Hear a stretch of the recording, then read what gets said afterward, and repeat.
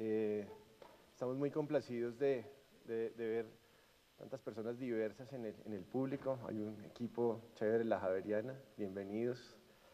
Eh, estudiantes, exalumnos, eh, miembros de otras escuelas. Para nosotros es un verdadero placer tener al profesor Fray en la Tadeo, en una alianza que estamos haciendo con, con, la Universidad de Ibagué, que como ustedes saben, pues es una universidad que está creciendo eh, eh, vertiginosamente, con teorías nuevas de diseño, eh, y nos sentimos muy sintonizados con el trabajo que, que está liderando Daniel Lopera allá en la Universidad de Ibagué. Solamente para rememorar un poquito, esta es la segunda vez que tenemos la fortuna de tener a Tony Fry aquí en Colombia, la primera vez fue ya hace seis años, cuando hicimos la primera, la primera bienal de, diseño y estábamos, eh, de pronto algunos de ustedes que, veo que hay egresados lo recordarán, eh, en esa primera bienal eh, estábamos validando, antes de, presentarnos ah, para, el, primer circuito de, acreditación, estábamos validando algunas posturas nuevas que teníamos o que queríamos fortalecer en torno a lo que estábamos haciendo con el diseño industrial aquí en la Tadeo, recogiendo un poco la tradición, pero mirando algunas fronteras que queríamos tal vez transgredir disciplinarmente y, de allí se fundaron otras dos rutas, opciones de grado que, que, hoy en día pues ya, ya tienen bastante trayectoria. en ese momento como ustedes saben, el profesor Alfredo Gutiérrez pues, ha hecho varios trabajos en torno a ese diseño de frontera y eh, empezó a ponernos en conocimiento del profesor Fray. Eh, posteriormente, el profesor Fernando Álvarez lo integró a su eh, grupo de trabajo para su tesis doctoral y en esa medida pues, se ha venido estableciendo una relación académica con, con, con Tony desde ya hace algún tiempo y en el contexto también de los, de los proyectos doctorales de los profesores Fernando Álvarez eh, y Alfredo Gutiérrez, eh, el doctorado que están terminando en la Universidad de Manizales, esperemos que algún día ese milagro ocurra. Y pues nada, seguramente ustedes conocen mejor que yo eh, quién es el profesor Tony Fry, pero solamente para recordar, es filósofo, ha estudiado muchísimo la perspectiva contemporánea del diseño, eh, integrando la no sostenibilidad, las políticas eh, y la cultura. Eh, Tony Fry es director de estudios en el Edge of the World en Tasmania, en el estudio the Edge, At the Edge of the World in Tasmania. Fue fundador y director del Ecodesign en Sydney y profesor visitante en la Universidad de Ibagué en Colombia, entre otras muchas otras cosas que ha hecho y ha tenido varias publicaciones. Ha ocupado varias eh, posiciones académicas y ha dirigido proyectos de investigación en Australia a nivel internacional. Tony ha sido galardonado en concursos de diseño y ha trabajado en Asia, Estados Unidos, América Latina y Europa. Es autor de 12 libros, eh, su última publicación es Remarking eh, Cities y es de Bloomsbury, Londres, en el 2017 fue la última publicación. Entonces, pues bueno, creo que todos estamos aquí para escuchar a Tony, entonces bienvenidos, Tony. Gracias.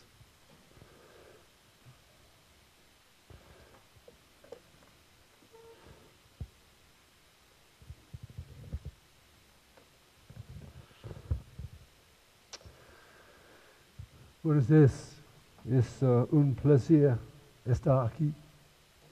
Disculpe el presentación, el decir en inglés. Design after design is a way of saying design is more important than the way in which we understand design at the moment. We live in a very complicated world with many challenges. So design, from my point of view, is becoming more and more important. We are only going to get to a viable future by design. So I'm saying to begin with, design is very important in, indeed. Now, one of the problems of the world that we have, uh, especially people who are exposed to the challenges of conflict, of climate change, of economic problems, and many of the other environmental problems is that many people are frightened, many people despair, many people think we have an impossible situation. Many people think we cannot overcome, as human beings, the challenges that we face. So, one of the most important things about the future of design is enabling people to see, in spite of the problems, that we can have a viable, possible future. So, how do we bring the challenges to us? How do we understand that in order to be able to design in the circumstances that we are in, we have to understand the world as designed. The world as designed is everything that we are familiar with the cities, the products, the ways in which we enjoy pleasure, uh, the way in which we are educated. Everything that we have within the world, within the world in which we exist, is designed. Design has changed the natural world. So we have a big contradiction. We have the contradiction between the expanse of design as the entitled environment in which we live, as it exists within the biological, natural environment, and we have design knowledge, design professions that only occupy and engage a very small part of that world. So, to be able to deal with the problems that we are facing, we have to be able to expand design as a practice. We have to go beyond the limits of knowledge, the limits of the professions, the limits of the disciplines. Uh, Albert Einstein pointed out you can't solve a problem with the thinking that created the problem. In terms of design, you can't engage the world's problems that are produced by design by design as it currently exists. So we have to change design. And we can't do it quickly. We can't find immediate solutions. We have to find a process. We have to find places to begin. So what I want to try to show you this morning is how that is possible how we can actually start to think about design in a new way. So, in a way, we have to unmake the way that we think. When we learn a practice, when we're taught how to be designers, we acquire uh, a taken for granted knowledge is in sociology is called a habitus. So there are the things that you are taught formally, and there are the things that you learn informally. The things that you simply learn by watching people, the things that you take for granted. This is where we have to start to make a change. We have to make present all the things that we take for granted. And we have to do that through a process of reflection. We have to make ourselves think about how we think. We need to make ourselves think about how we think. So, let me just put the world into a, a com- into a context. One of the ways in which it's now being described is as the Anthropocene. the moment where human impacts uh, are really changing the world. And, and the most dramatic example of that is arriving by people recognizing we are at the beginning of the sixth extinction event. The, the, the last extinction event was 283 million years ago. As a result of that, over 90% of all animal life disappeared. We are the result of that 10% that was left over. What's happened uh, is that we've begun a process by the way that we've made the world and as a result of the impact of the world that we've made that is taking the future away, that is creating the possibility of ourselves and all the life that we depend upon becoming extinct. That is how serious the problem is. The reason why people are not taking it seriously is because it's going to take a very long time. It's going to take a thousand or several thousand years for that disaster to happen.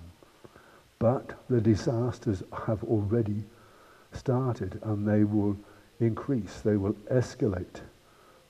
At the moment, there are around about seven or eight million refugees in the world. Some result from conflict, some are resulting from climate. By the middle of this century, between 2050 and 2070, there is likely to be 150 million refugees as a result of both climate and conflict. That's a figure that is conservative. That is a figure from the OECD. Other people think there will be more. Now, if you just think about how badly the world is coping with just a few million refugees, you can see how that is just one example of the challenges that we face. Climate change is something that everybody now who is at all informed recognizes is a very serious problem. But that problem is going to get worse. That problem is going to continue for centuries. That problem is accumulating. The, the, the life of greenhouse gases in the atmosphere is hundreds of years.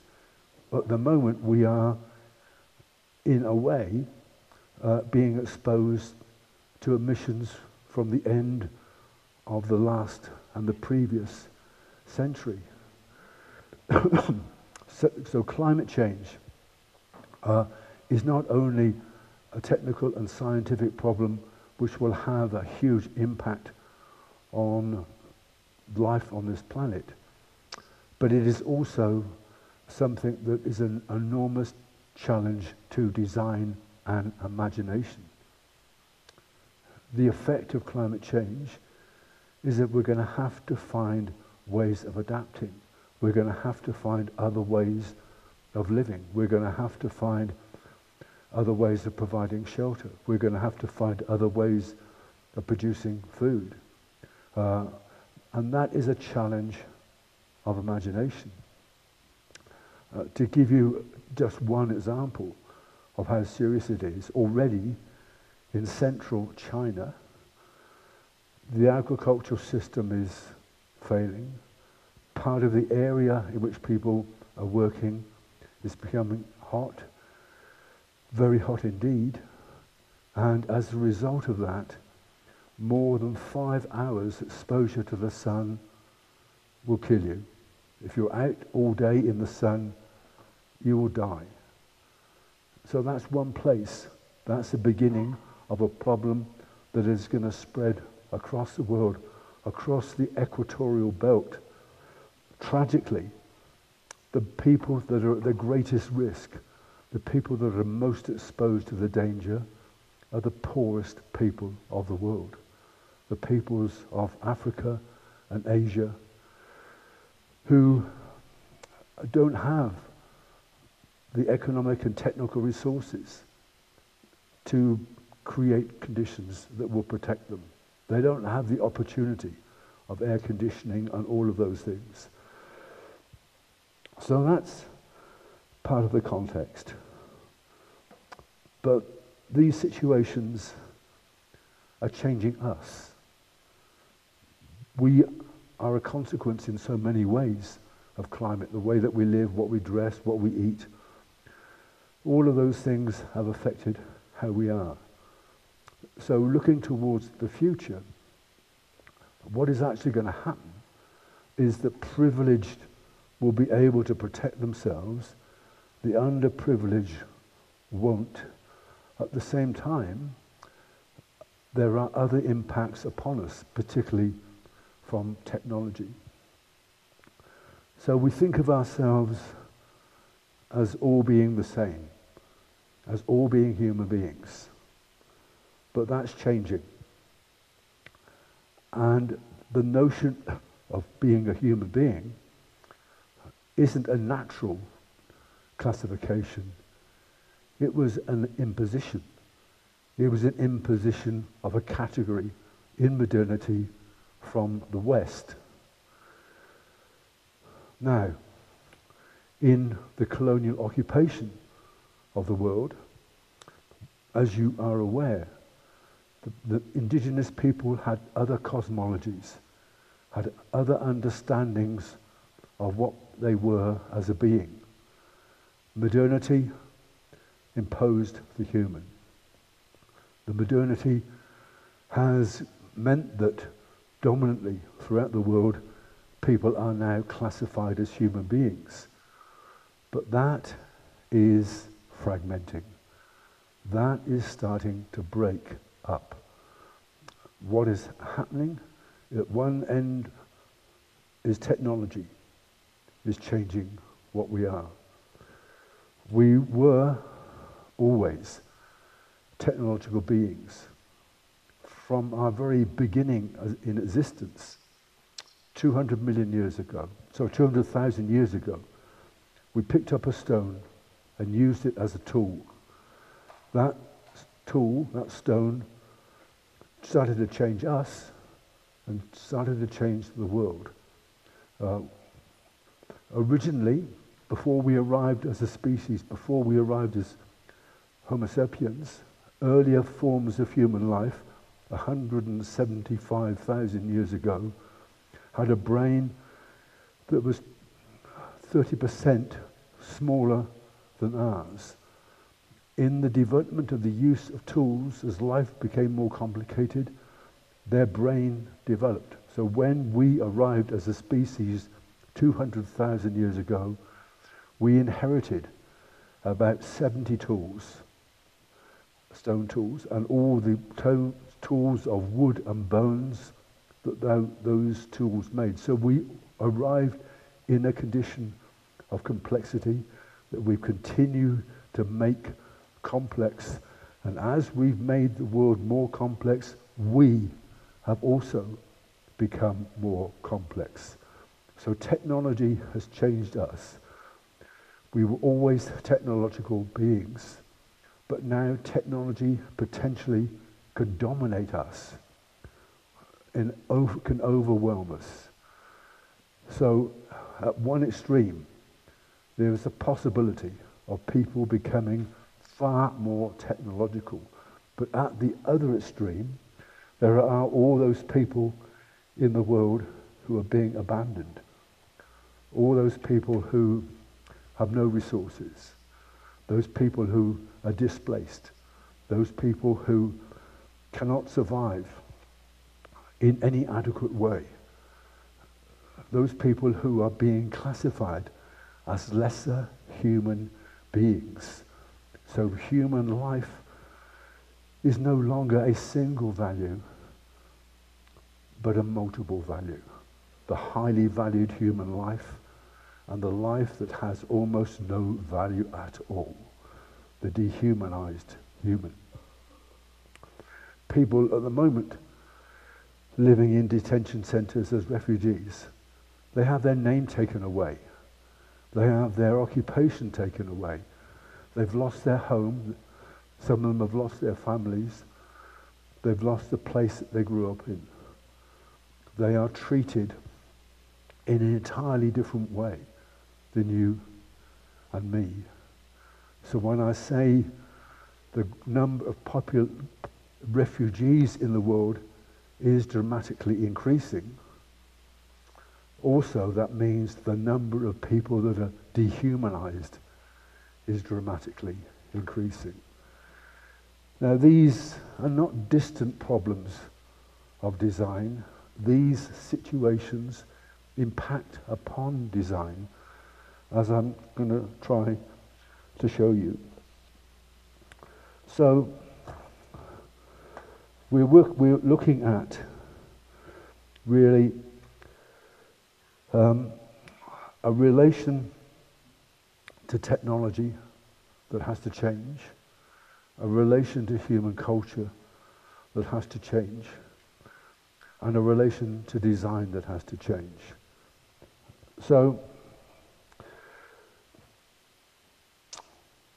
I'm inviting you to review your own situation, your own practice, your own relation to the way in which you view the function of design in this country. Now, the way in which you identify an ambition. Where do you want to go? What do you want to make? Are you going to refuse to engage the challenges or are you going to try to meet the challenges? So I'm pleased that you're here. I'm pleased that you're listening to me. But what I want to achieve is I want you to go away and think about the implication of what I'm saying to you. So let me show you some images that give you a, a slightly different picture. So, what I've been saying is that we know a lot about design as it is. We know a lot about how to design. We don't know a lot about why to design. Human beings have been incredibly good at acquiring technical knowledge.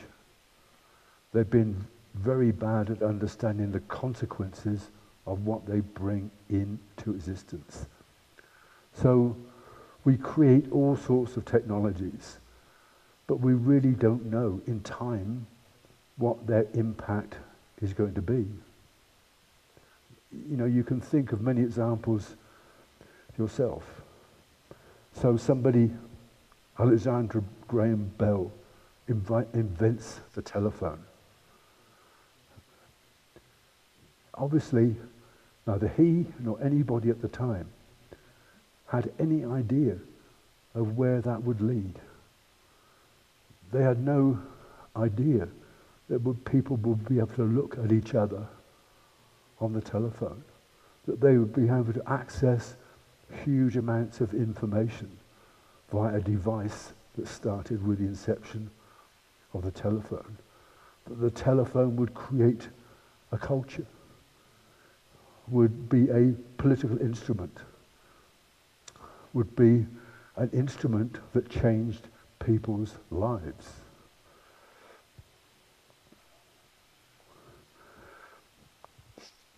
So this is the way I want you to understand design. We're born into a world of design. Slowly, we become users of design. Design arrives for us as soon as we arrive in the world. A nurse with rubber gloves on touches you you're touched with the artificial before you're touched by the natural. You might be helped into the world with a pair of forceps. You're put into a sterile environment. Your mother is in a particular kind of hospital or at home with a midwife. So we are born into a world biologically and a world unnaturally. So slowly we become as usual things. Those things are introduced as toys, the things to play with. And slowly those things start to design us. We have a pair of shoes. We learn how to put those shoes on. We learn how to use the things in the world. And that starts to change us. We start to become able to utilize things in the way that we choose to use them. So that is able to be described as the ontological consequences of design. The being of things change our being. So, unknowingly, we start to design. Every human being designs. Every human being creates, prefigures in their mind an outcome in the world before it exists. Some of us choose to become designers as an identity and a profession. So, as we've done that over time, we start to create things in the world that design and transform the world. And because we've done it without an understanding of the consequences, we have enormous problems. So, when another child is born into the world, effectively they are not born into the same world. We are transforming the world all the time. And one of the problems that we have is that we're incredibly dynamic in terms of our activity and our impact. So the world is changing at a faster rate. So this, in a sense, isn't a circle. It's a spiral. It's an, an ending spiral of transformation that's getting faster and faster and faster.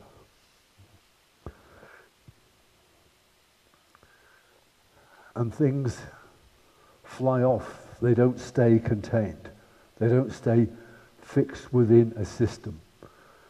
Things end up in places that were not in any way intended. we create products and they arrive in very different ways with very different consequences in the world. So this is a very uneven situation. This is a situation which creates the condition of the unsustainable. And design is deeply implicated in this. We bring things into the world that create a particular kind of future, but they also de-future. Creation is indivisible from destruction. Whenever we make something, whenever we create something, we destroy something. Every time you look at something, you, you can see creation and destruction. And one of the problems with design, one of the problems of design education, we focus on creation and we ignore destruction. We don't teach people to be able to recognize what they destroy. And because of that, we avoid recognizing the ethical design line between creation and destruction. And it isn't a simple good or bad, black or white. It's a question of being able to make a calculated estimation of the degree. The question you have to ask yourself does what I bring into existence warrant what I'm going to destroy? Does what I'm bringing into existence warrant what I'm going to destroy? It's a very hard question to answer. It's a question that continually begs a lot of thinking.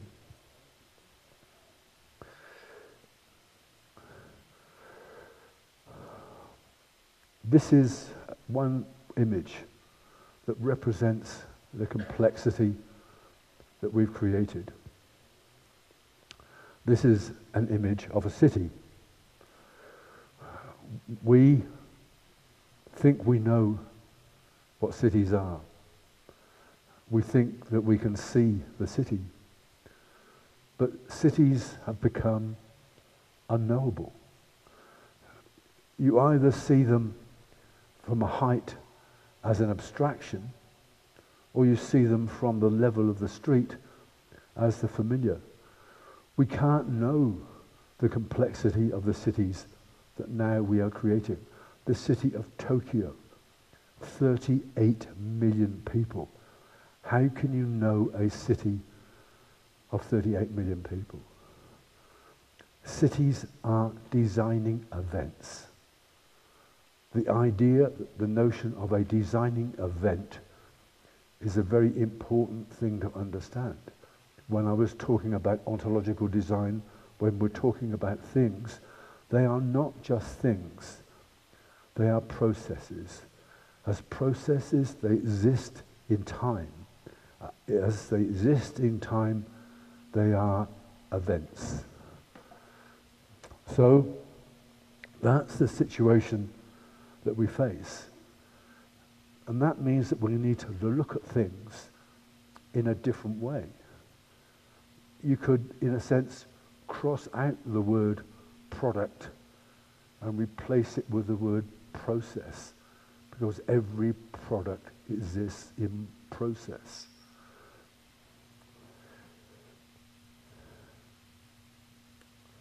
So this is an example of the extremes of humanity that I was talking about. You know, this is one cosmology that creates an identity that isn't based upon the idea of a human being. This is an identity that makes no distinction between the natural and the human. The notion of being in nature uh, what we do is we fail to recognize that we are two things.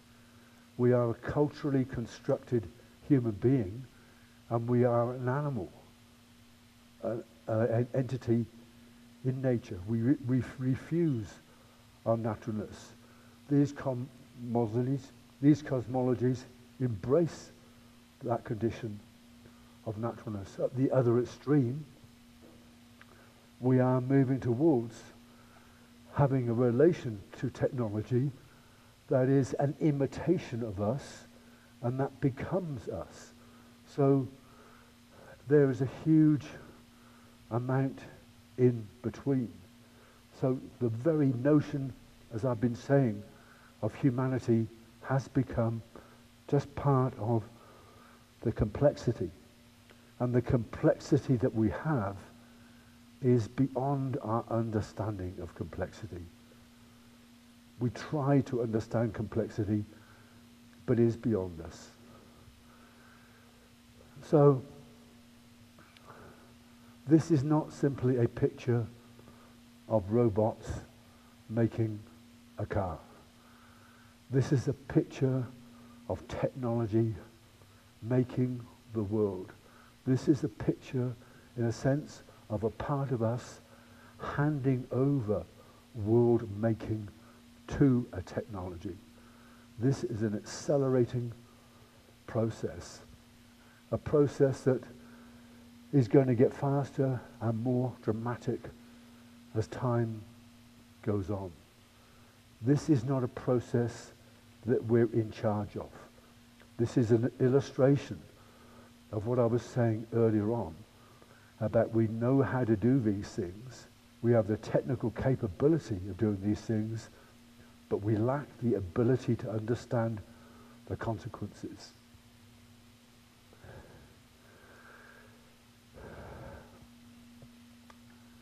So, as I've said, the underside of what's happening uh, is that there are people who are at the other end of the benefit of our technological achievements. And there's a direct relation to these people and technology. These people are displaced by the technology of war. These people are displaced by the consequence of the climate change that we have added to. So, this is a picture, another kind of picture of a process of dehumanization. And it could affect any of us. It is not very far away. It could happen here. This is how close it is. Caracas. So, this is an image of a designed environment. This is one form of design. This is the informal design for survival. This is simply finding ways that people find ways in a condition of deprivation of trying to make a world in the world with whatever they can find, with whatever means that they've got. This is also a picture of a disaster. This is a picture of a nation on the edge of collapse, a nation that is on the edge of your nation, a nation where there are these people arriving. Over two million refugees have come out of Venezuela in the last year.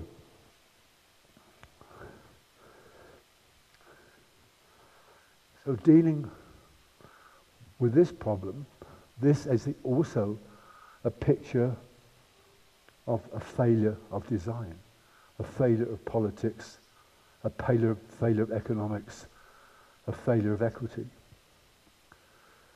This is a problem that exists here in this city, a problem that exists in this country.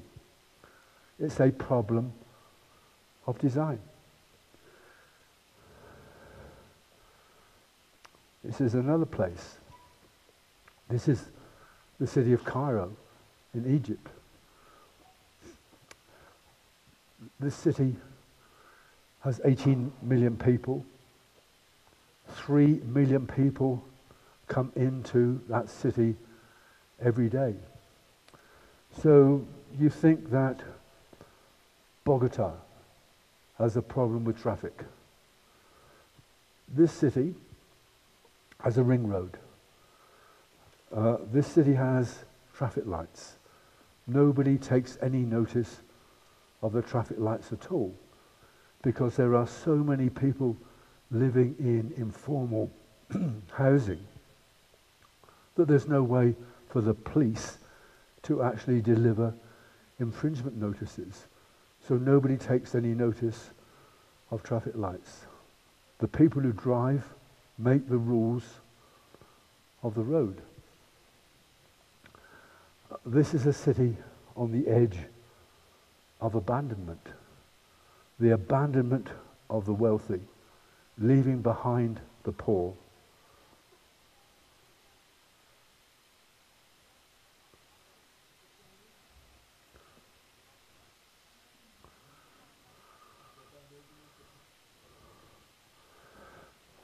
So this city is being abandoned for a variety of reasons. It's abandoned because eventually it's going to be destroyed by sea level rises. But long before that happens, it's going to move out into the desert. Egypt builds cities in the desert. Those cities are a long way from the River Nile. They don't have any rain. The River Nile is the only source of the water. The water gets pumped to the cities. I'll say more about that in a moment. This is what is replacing the city of Cairo. This is an image of the new capital of Egypt. And it's an example of the stupidity of design. This city has a park twice the size of Central Park in New York. It has a Disneyland four times the size of Disneyland in California.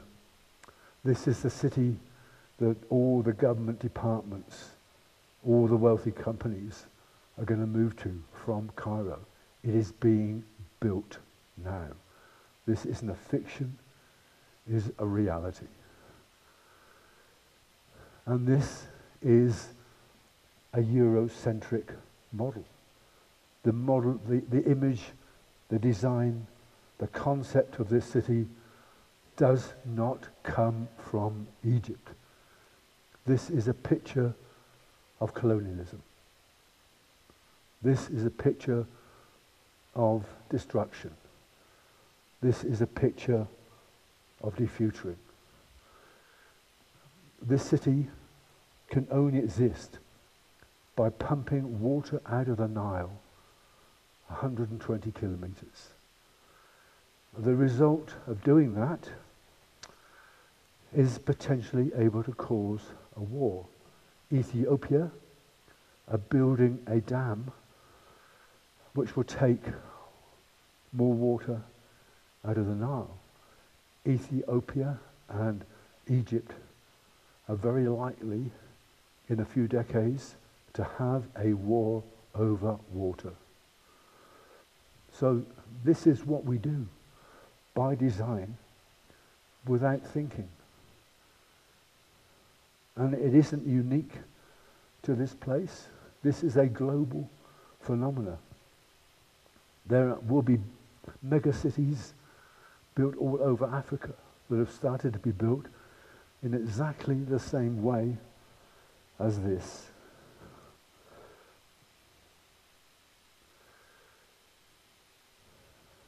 So, what I'm talking about is the unthinking of design. Now, there's obviously a big leap between the scale of the problems that I've been talking about and what we can do as individuals, what you can design, how you can make design a contribution to the solution in a modest, everyday, everyday practice way. So I want to spend time just kind of giving you a picture of what we have to be able to learn to do. We have to be able to confront the problem of consumption by design. We have to eliminate things that we design that contribute to the problem. So when we design a product, we have to ask the question of whether it is necessary, whether it is actually contributing the future or damaging the future. We have to actually recognize that we have to learn how to get rid of things by design. Design for elimination has to be a practice that we develop, has to be a practice that we teach, had to be a, a practice as a student that we learn. We have to learn how to change people's perception by design. So the practice of visual communication, of graphic design, of designing interface, all the kind of areas of digital design have the potential to recode how we see the world. We need to learn ourselves how to see the world in a different way and how to present that to other people. So we start to value the world in a different way because our perception of it has changed. I'm trying to do a tiny, tiny little example of that this morning with what I'm saying to you. I'm hopefully trying to get you at least to see the world in a slightly different way than when you walked in the door this morning. I'm also suggesting that we need to understand what is critical, what we actually are able to have a critical relation with. So criticality has to be something that we use to bring to design.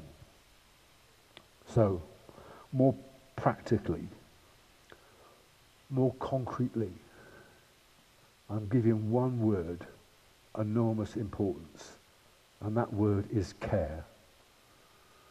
¿Cómo se dice care en español? Okay.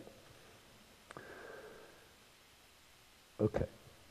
Designing things, systems, organizations with care. Careful design. Design full of care. Care as a function. So you bring something to, into existence that works opera, oper, operationally. What does it take care of? How does it deliver care? Care as a design principle. Care as a way of making. Care as a mode of being in the world. So that we care for the world, we care for each other. So I'm not telling you what to design. I'm telling you what should direct what you design. Care as a design ethic. Care as a social relation. We have to learn to care for each other. We depend upon the natural world, the water, the air, the food that we grow to survive but we also depend upon each other. We depend on a biological ecology. We depend upon a social ecology. So we have to be able to repair not just the world that is broken, but the communities and the social relations that are broken. That is something that design can make a huge contribution to we have to care against everything I've said about the destruction of humanity. We have to care for the future. The future is our responsibility. The damage to the future is a result of our neglect. So, that's really what I'm going to leave you with. This is where I live. I live in a privileged place. I'm very aware of my privilege. The privilege of my place uh, is that it's got the cleanest air in the world. It's a place where it's very easy to grow really good food It's a place where the natural environment is not destroyed. So I have to be able to kind of act on the basis of my privilege. And design is the way that I'm trying to do that. So thank you very much for listening to me, and I'm very happy to answer any questions.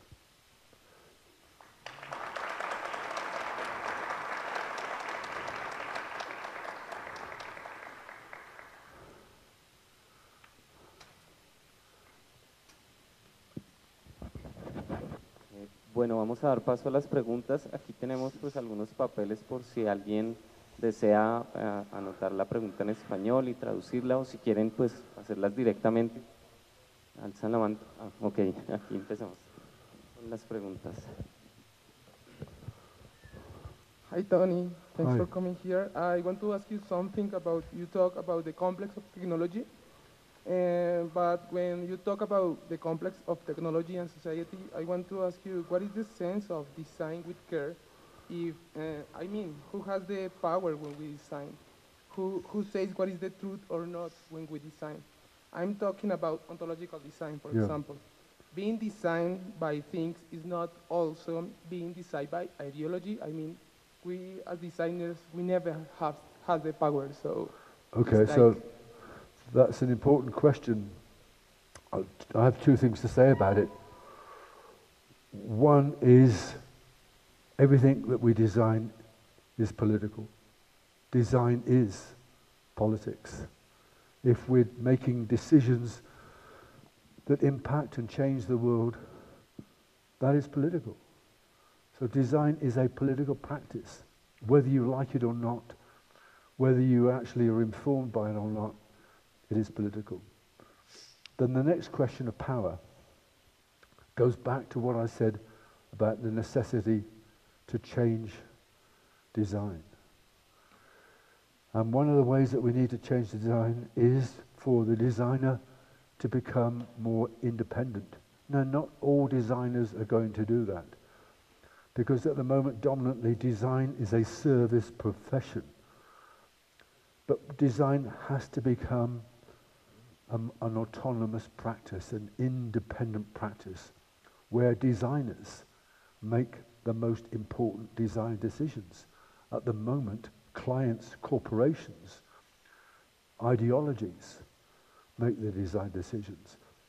And one of the most significant thinkers about autonomous design is Colombian, is here, is Arturo Escobar.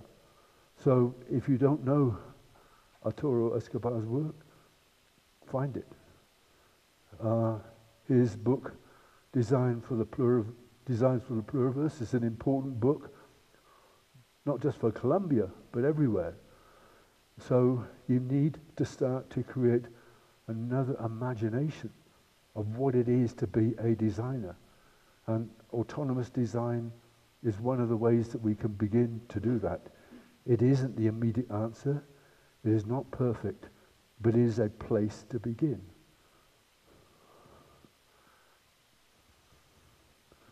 Thank you. Uh, I would like to ask you about the relationship between post-human design and AI. How you Okay. Thank you. Okay, so one of the interesting things about AI uh, is some of the people that were the leaders in creating it are some of the people that are now getting very concerned about what they've created.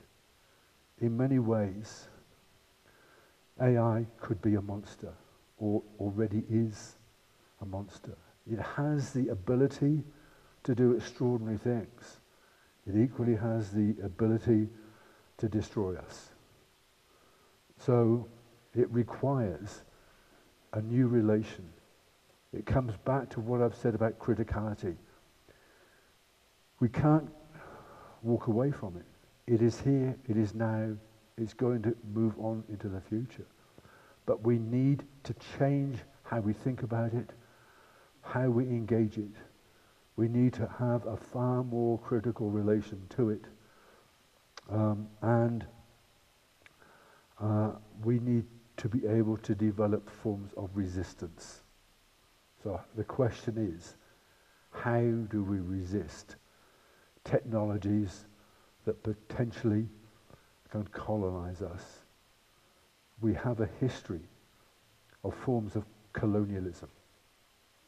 First it was a physical imposition, then it was a mental, intellectual and cultural imposition, and now we have the danger of a complete loss of thinking, a loss of consciousness as a result of our own actions in bringing a technology that can destroy our consciousness. That is the danger of AI. Thank you.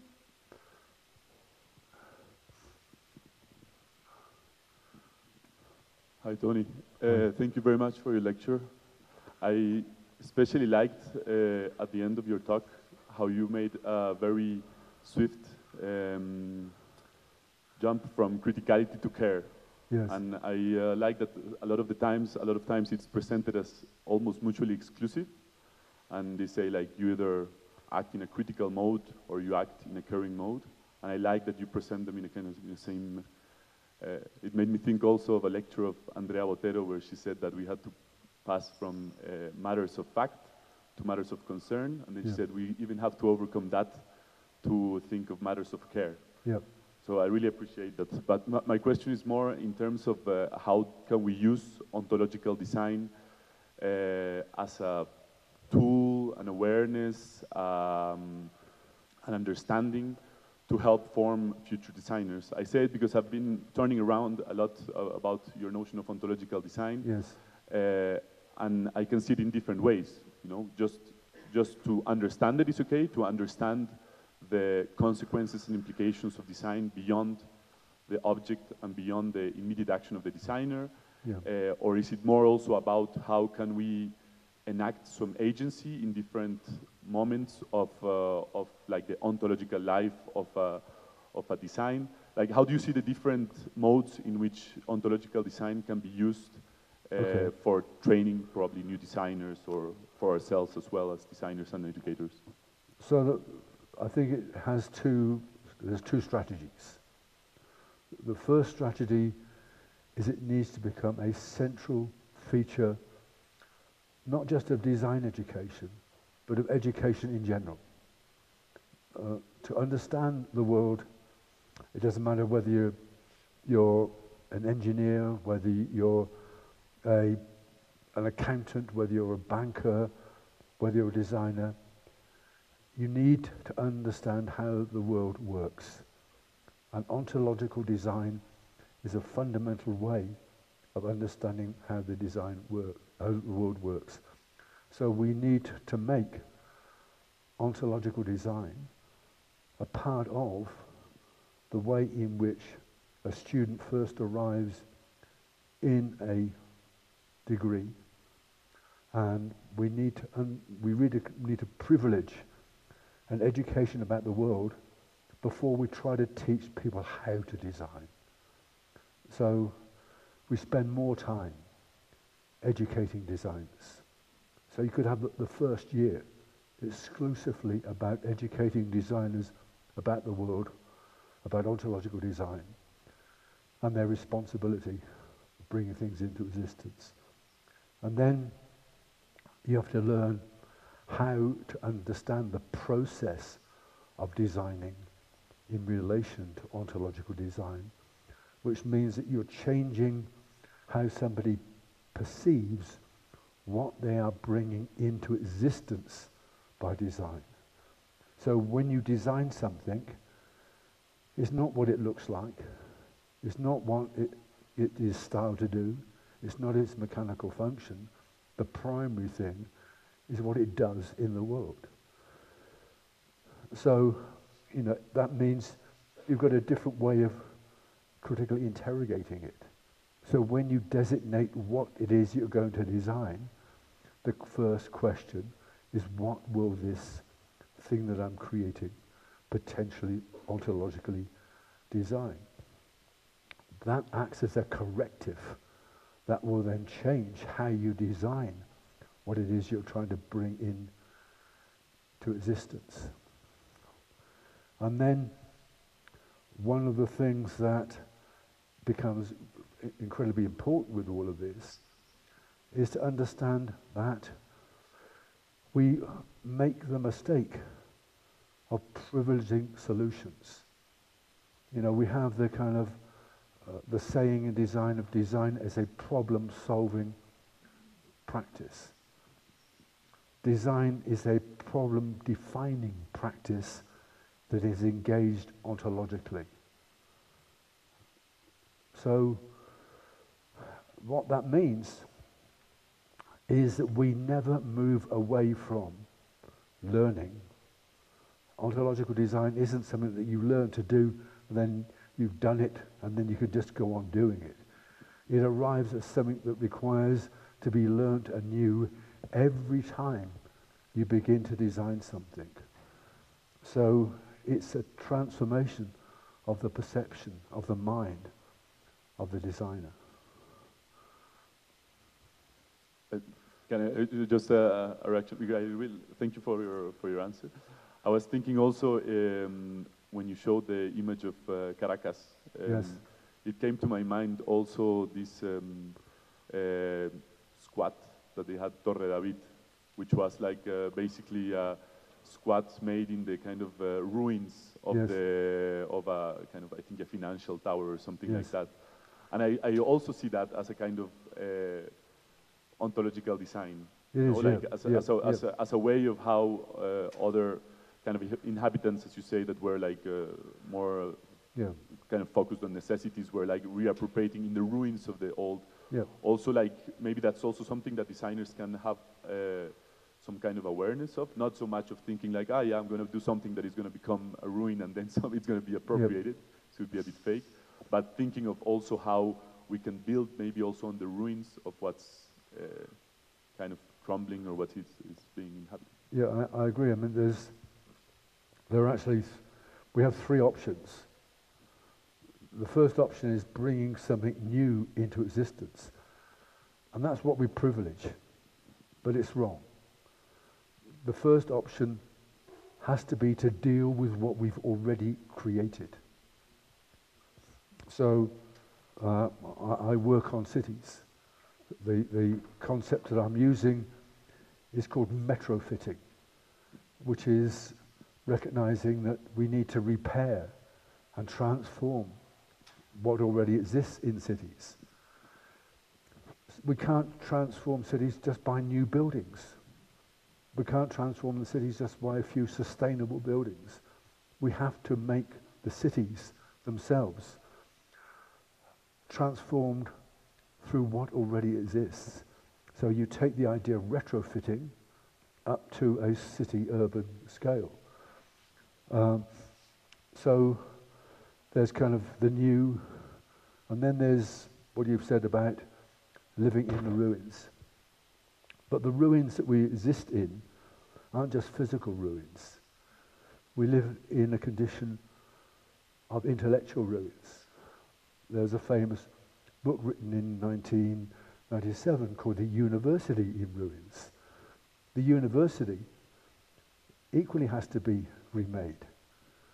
It doesn't look like a ruin. You're in a nice building. But what's happened to the universities is that they've become more focused upon making things instrumentally, less critically. So we need to remake the universities to be more critical. So living in the ruins uh, is something that we're doing. If we're destroying the world, we're making more ruins. Now, just one sort of incidental thing. In looking at the picture of a city like Caracas, some of the people that are most able to survive um, in disasters are the people who have, in a sense, the less invested in the permanent. So we can learn from the informal. The informal isn't just a condition of economic despair. You know, the, the, the informal can be a city, can be a community of cooperation. It can be a, a community of, of improvisation. So it isn't quite as the image appears.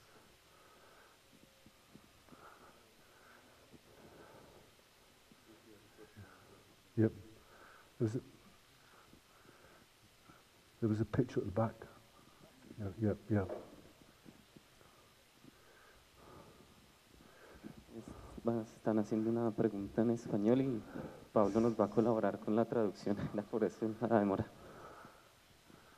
Anthony, thank you very much for your lecture. I have uh, one question. Um, in the uh, at the late 60s, beginning of the 70s, uh, Victor Papanek uh, start to uh, to award us of what was coming, and uh, when you when you show us the picture of uh, Cairo, and, the, um, and when I make the relation of what uh, Zizek is saying about design as uh, an um, ide ideological uh, state apparatus, what those countries are trying to, uh, to reach is the new form of living like the first world can present and show.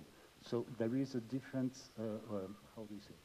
Um, we have difficulties to uh, here to say, okay, you, you have to resist and to change your uh, mentality about the design Yeah. when what they expect to, uh, to, um, to arrive is what the, the first world is showing. Yeah, yeah. Okay.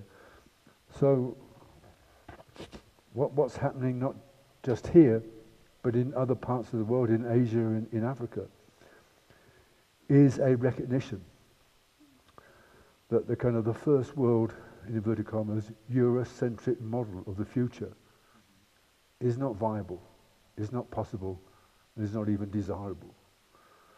So, the what's happening in the global north is slowly there is a beginning of a recognition of a Eurocentric perspective as being a violence, an imposition, uh, uh, one that has to be transformative of what happens in the global north.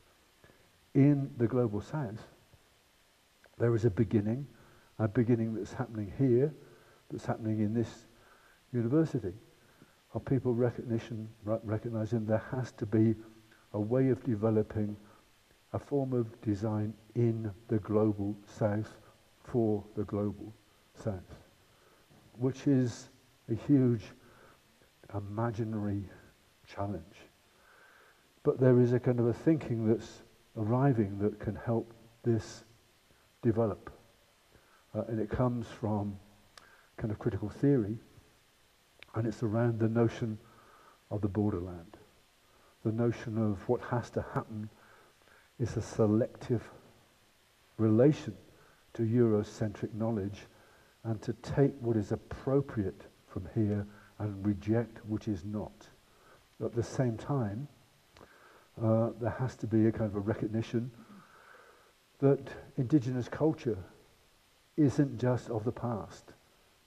And indigenous culture is a resource in the present for the future that needs to be really critically examined, interrogated, because there are solutions within it that invite innovation, that invite being brought into a dialogue with the critical selection from Eurocentric knowledge. So, in many ways, you know, what I said a moment ago about informal communities, in some respects, having an ability to survive and having a future, as the situation in the global north gets worse, which it will, the situation in the global south, in a sense, becomes far more significant globally. So, in a sense, I think you need to view your situation as positive. That what you lack is an advantage as much as a disadvantage. So it means that there is a kind of a way in which there has to be a shift in perception of what is desired and desirable. Much of what is desired is destruction, as illustrated by that picture of New Cairo. Ya tienen pregunta. No, por aquí, por aquí por aquí.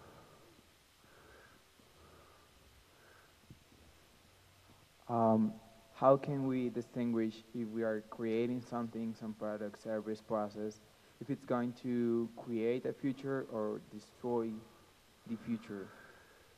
Okay, that comes back to what I've said about education. That has to be something that people, on the one hand, are taught how to do. That has to be part of the curriculum. There have to be professors who are able to teach that. Have, at the same time, it has to be something that you engage uh, as an activity of discovery. There isn't like a book that you can go look up a solution. We're at the beginning of learning something new.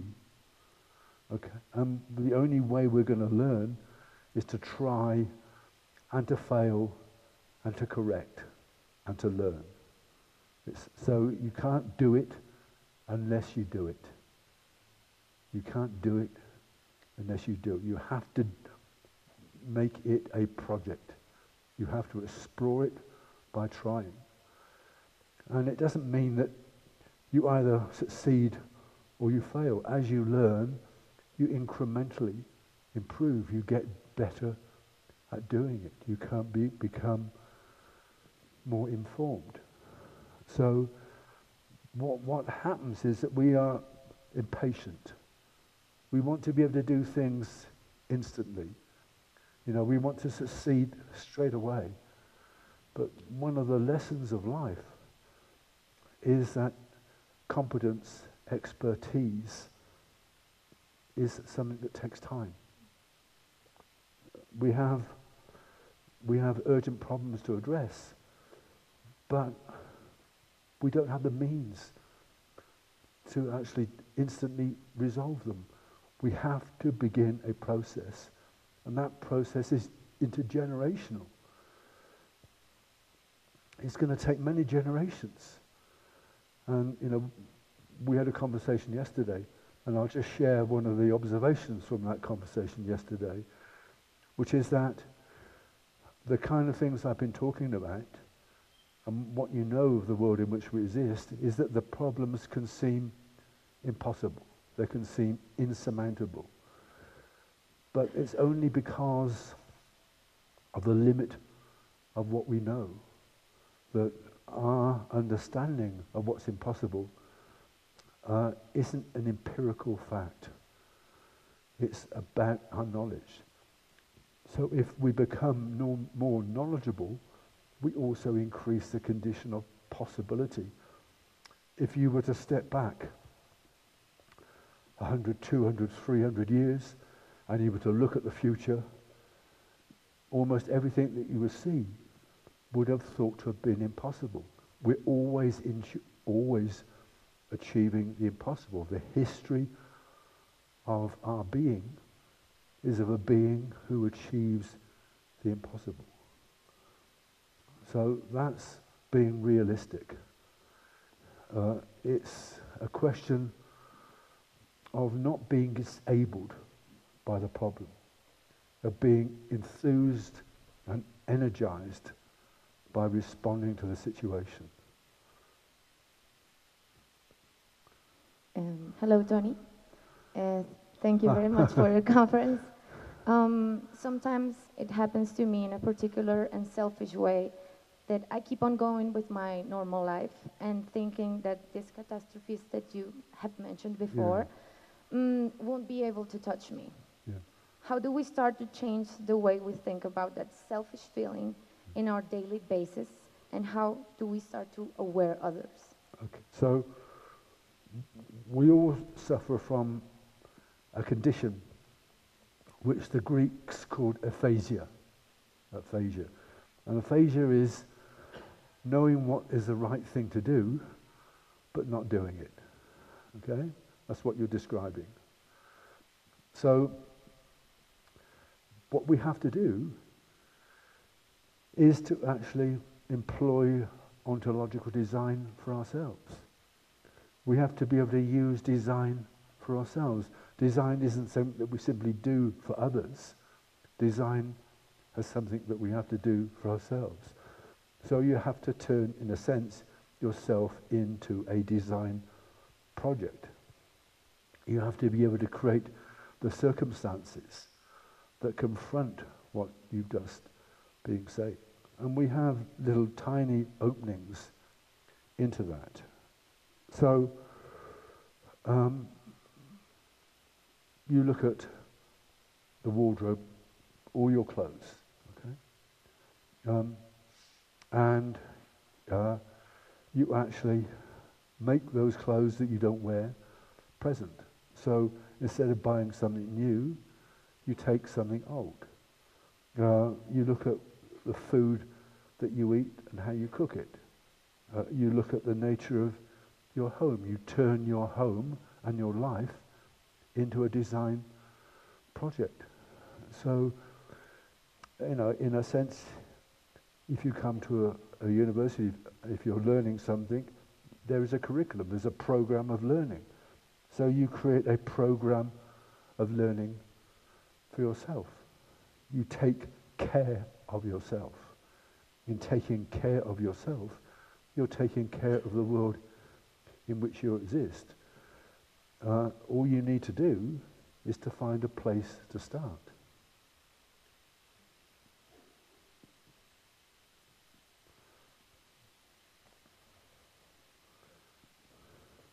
Professor, thank you very much for your presentation. Um, th there is a, a, an idea that, I, that we usually have to mm, deal with uh, whenever we talk to somebody who believes absolutely in capitalism and yeah. in the way that capitalism is led by technology.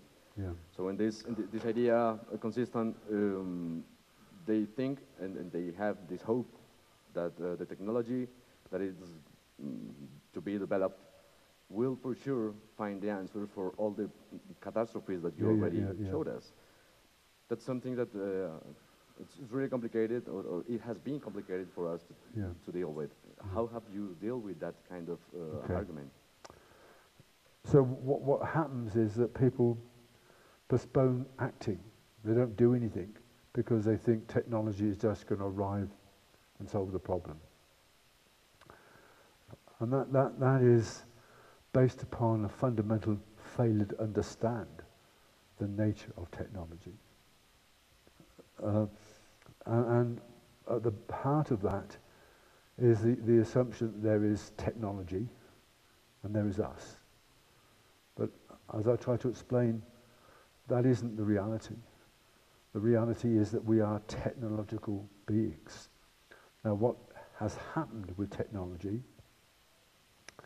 as it is it's developed beyond being simply a thing, simply being a tool, to becoming something which is metaphysical, something which is knowledge. So the way in which technology is developed, in a sense, it's been dematerialized. It has a materiality, but has a immaterial existence as knowledge. So capitalists would call this the knowledge economy. Okay. Um, so if you say that there has to be a, a solution and the solution is going to arrive by technology, and then if you recognize that we are technology, that simply comes back to us. We have to be the solution. We don't simply use technology. Technology equally uses us. So this comes back to this notion of criticality. We need to be able to develop a critical relation to technology, recognizing that we are part of it. So we have to be able to make it strange. We have to create a certain condition of alienation. And that only comes through knowledge. That doesn't stop us being technological beings, but it means that we become aware of ourselves as technological beings. These aren't, you know, these, these aren't questions that are able to be answered in this kind of very brief way that I'm doing. These are kind of intellectual, intellectual expeditions which we only have partial answers. And what's happened is that in terms of the philosophy of technology, is technology has developed at a faster rate than our ability to make sense of it. So we're trying to catch up.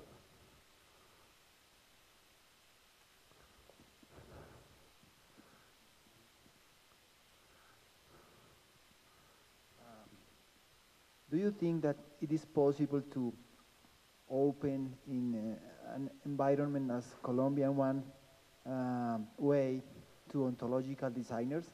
I mean, instrumental universities educate instrumental designers. Yeah, yeah. Uh, from uh, 20 years now, I'm bored to see designers uh, uh, competing each other uh, about who is better uh, in the mm, use of a software, Yeah, who, who do the, the, the best uh, furniture, Yeah. no more.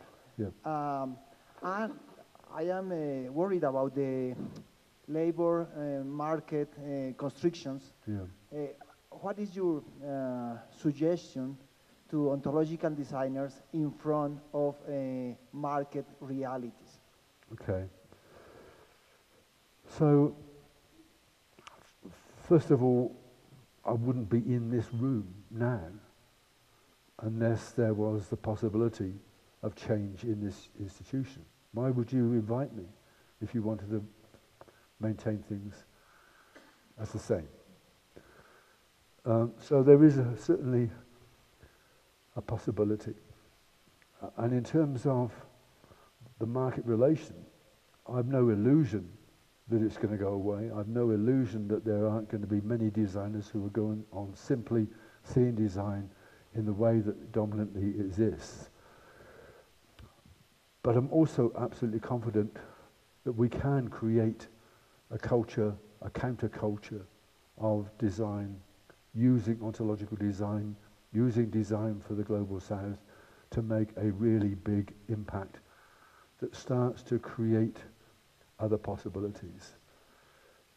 But I can't start, and neither can you. We can't start at the end. We can't, we can't utopianly construct a vision of us creating a form of design that immediately transforms everything. What we have to do is act in good faith on the basis of recognizing that there is a necessity for change and that we begin a process of change. That's all we can do. We can't do, we can't act in a condition of certainty. We live in an uncertain world. Certainty is an illusion. So we have to act in good faith, with courage, uh, with a sense that there is no choice but to act if we want a future with a future. So we can't act on the basis I'm only going to act if I'm going to succeed. We don't know whether we're going to succeed, but that's no reason not for acting.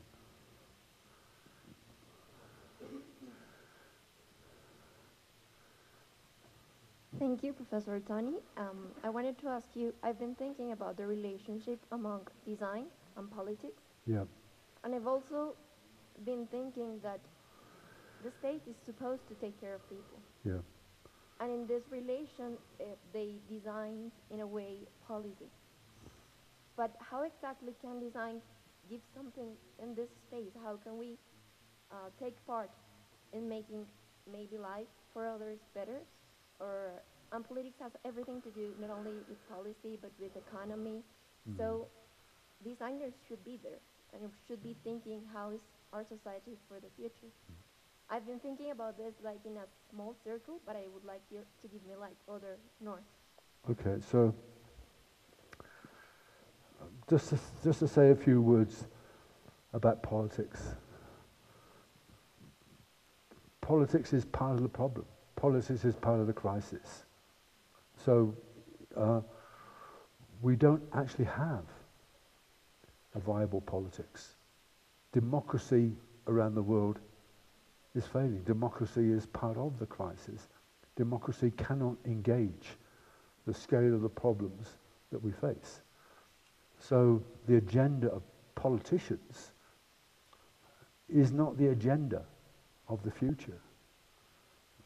Politicians are recognizing in an unstated way that the system of politics that they're in can't actually uh, really address the future because their understanding is about maintaining things as they are, maintaining the status quo, keeping the economy going as it is now functioning, maintaining the regime of power that now exists.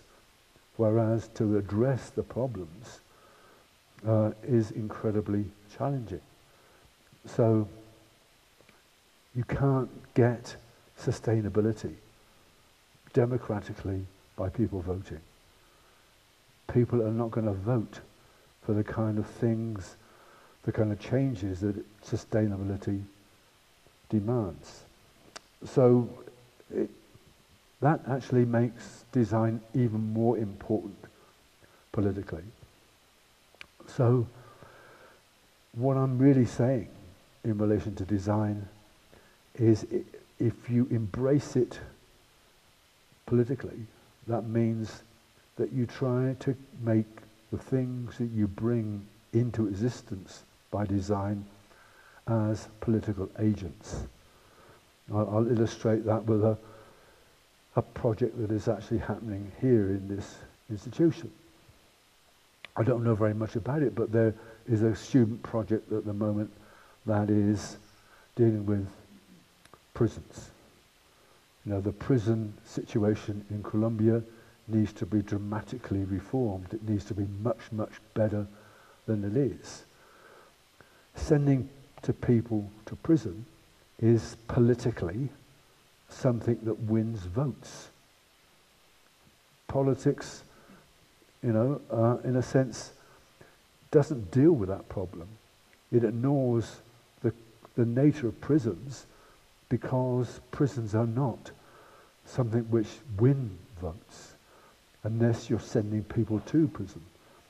So design as politics actually being able to identify a different kind of process in, all, in being able to create another kind of discussion about prisons, being able to kind of expose just how bad the prison system is by design. All of those things have the potential to actually generate action which changes the political situation, coming out of another vision arriving, another critique arriving, another visual presentation of the problem arriving. So we have options that are available to us. But that means, and links to this notion of autonomous design, that means the designer has to act independently. So it's very difficult to be a service provider to a corporation and to be political uh, because all the major design decisions are made by the corporation. In order to be able to make design an active, transformative politics, it requires the designer to be independent. But that doesn't mean to say that the designer can't earn a living. It means that you earn a living in a different way by being propositional. You know, if you can identify a problem that needs to be solved, and there's somebody in the community, in the economy, who wants that problem solved, then you have the ability of earning a living.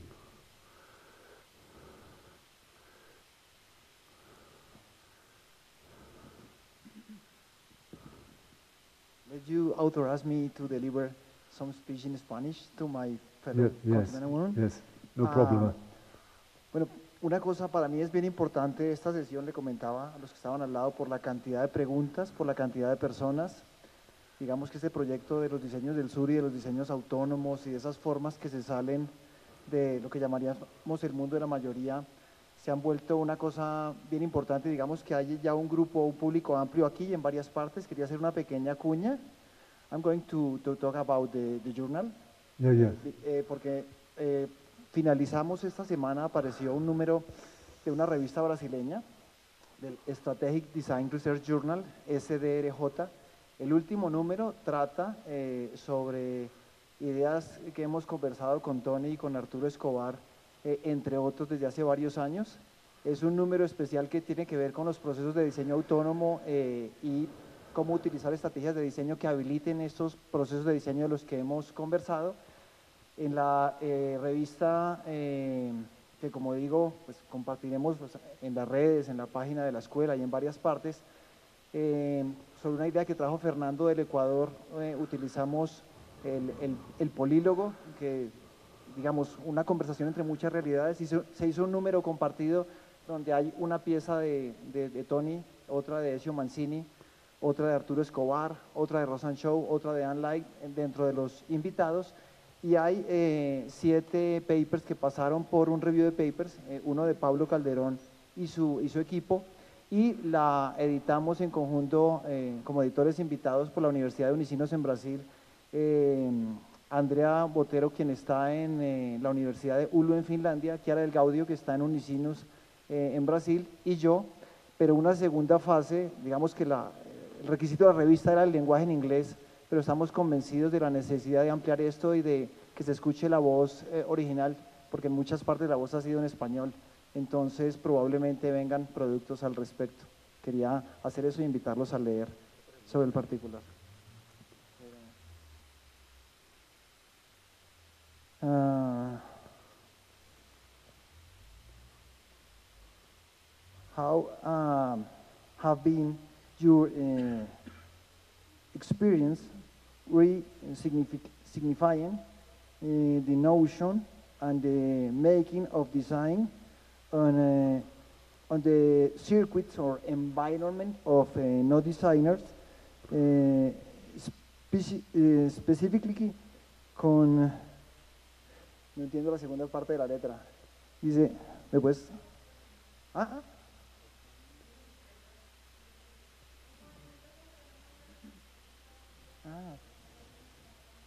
Your experience with autonomous movement or uh, usually non-designers people, non-professional people mm. of resistance, yes? Yeah, okay. Mm. People usually, uh, uh, professional club member people think that they are not designers. Yeah, okay. So um, I could give you an, an, an example. Um, I'll give you an example from Egypt, where I've worked. So at the top of Egypt is the Nile River Delta, which is where most of the food in Egypt is grown. But because of sea level rises, 30% of that has got salt in the soil. So it's becoming very hard to grow food. So those people are leaving that area. Uh, and that the agricultural design challenge is one problem. The other problem is where are these people going to go? And because already three million people are coming to Cairo every day, because Cairo is a very difficult city to live in with lots of problems. You don't want those people from that region to go to Cairo. So a mayor of a village uh, talked to a friend of mine, and we went to see the mayor of that village. So there are 15 villages in this area below the car, the delta. So the project uh, is to connect 15 villages to make a city. But all the decisions, all the discussion, you know, comes out of the people living in those villages. So that discussion is a whole series of design decisions being made by those people in that village. So the designer the people that I'm working with, they're being designed by the design decisions of the people living in that area. So that's one example. The other example is what, what's happening uh, is that many people outside of design with expertise, uh, and that can be from various areas. It can be from psychology, it can be from geography, it can be philosophy, it can be from anthropology, are becoming interested in design. Some of the most interesting writing on, in design is not being made by designers. You know, we've mentioned Arturo Escobar several times. Arturo is an anthropologist. He's not a designer. He's had conversations with designers. He's had conversations with me, and we've informed each other. We've learnt from each other. So that is what is beginning to happen. So I invite you, everybody in this room, you're in a university with lots of expertise, you know, you need to be talking to other people if you're not already in the university. They need to discover more about design and you need to benefit from the, no- the knowledge that they have. So I started off by saying design needs to become more important. And to be more important, it needs to be more open and it needs to be talking to more people. And it needs to recognize that the people that you work with, you have to design with. You don't design for people, you design with people.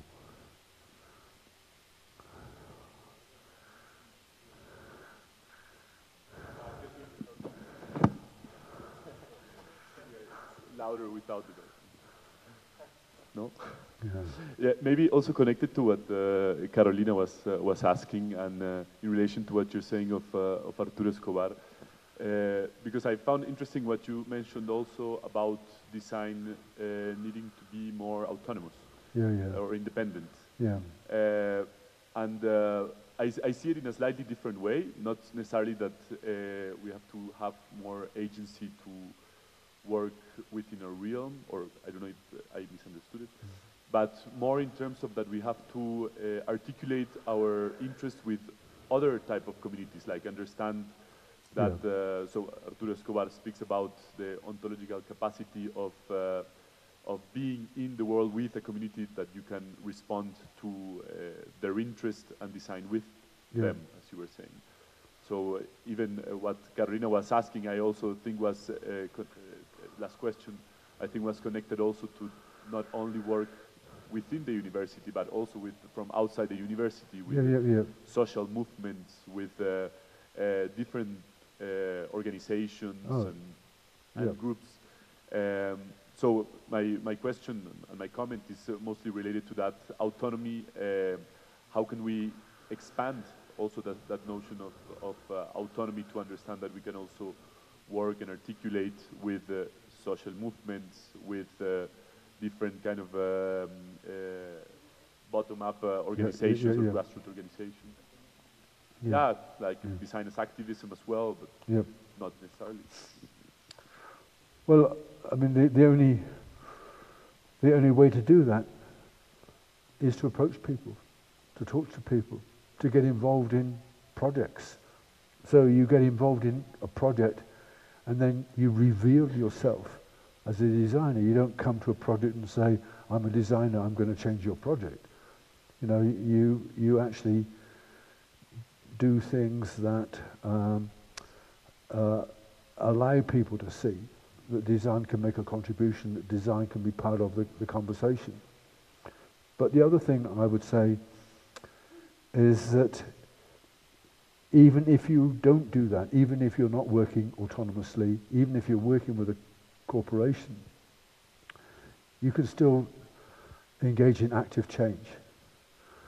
And one of the ways you can do that is through a, a, a method called a return brief. When somebody asks you to do something and you say to them, I've understood what you've asked me to do, but I would like to provide you with alternatives, with other ideas. So you have a client and you don't simply do what the client tells you to do, but you try to create a, a dialogue with the client. So it isn't quite as simple as having one choice or the other. Uh, and in terms of a career, you know, you have to be able to get expertise and competence to be able to become an autonomous designer. You can't just walk out the door when you graduated. Uh, it takes again an, another learning. It's a self-education. So all of these things arrive by degree.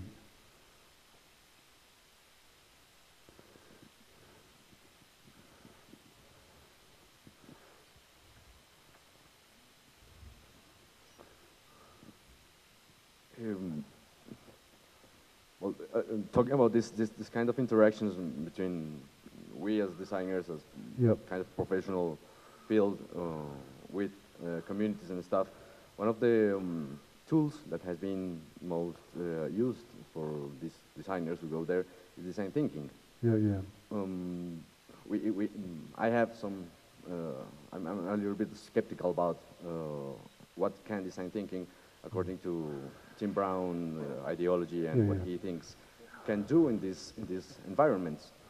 Uh, what would you think about this, uh, the use of this tool uh, in this in these uh, Okay. spaces? So, I mean, I'm familiar with design thinking. I know where it comes from. I know the corporations that adopt it.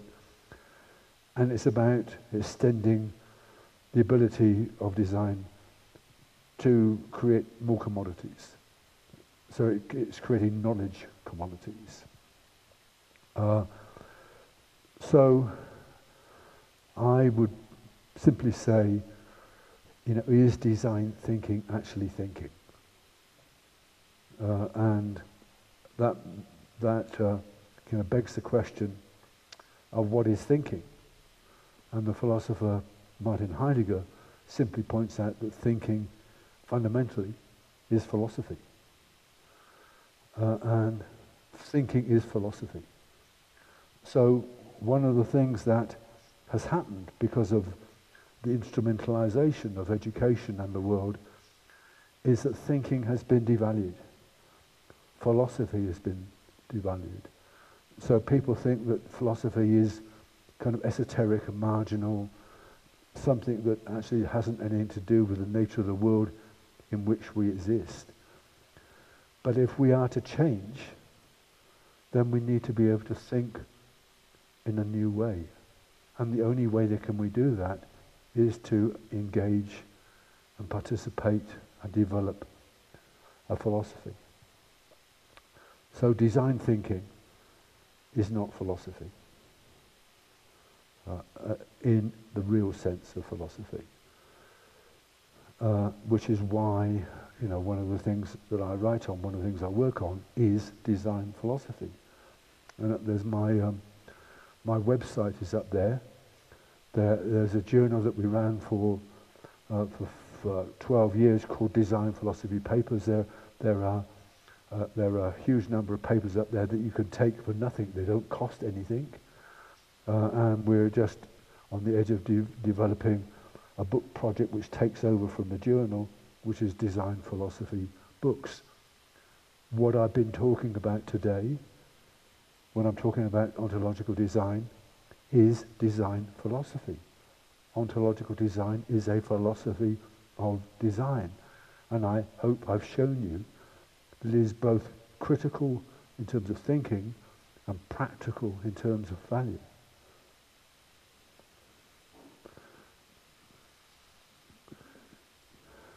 ¿Más preguntas? ¿Todos? Eso es todo, parece, sí. Bueno, muchísimas gracias, Tony. Muchísimas gracias a todos por su asistencia.